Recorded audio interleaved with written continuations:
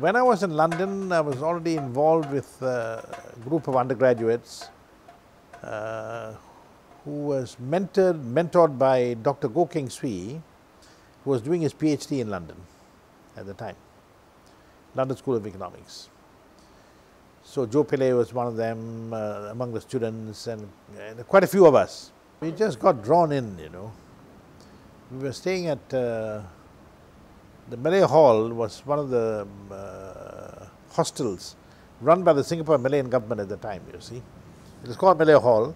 Before that, we were staying in uh, the British Council Hostel in Hans Crescent, number one Hans Crescent.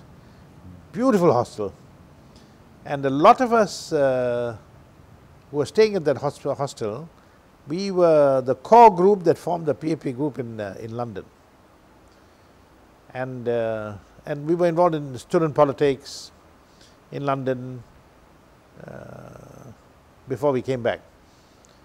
And the, Dr. Goh Keng Swee was the uh, was the leader virtually, you know, the inspiring spirit, you know, behind uh, what we were doing in London. You see, we we, we will uh, meet very often. Uh, we were involved in student politics, uh, Malayan Students Union, there was another organization, students organization called the Malayan Forum, you know, that is very political.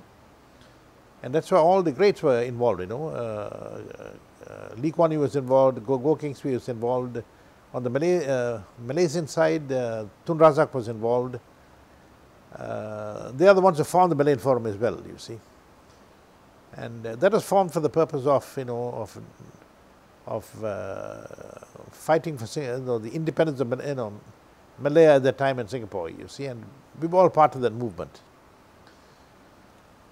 And that was student politics, you know, and um, very active, very active.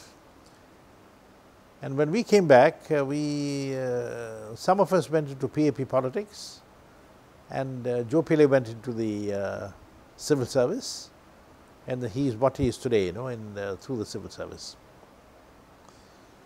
Uh, when we were in London, uh, we were already involved with the formation of the PAP group in London. You see, when the PAP was being formed here in Singapore, we were forming a group in, in London. And then when inevitably when we came back, some of us were drawn into uh, PAP politics. And some of us went into parliament uh, and others uh, were helping out in, you know, in different fields.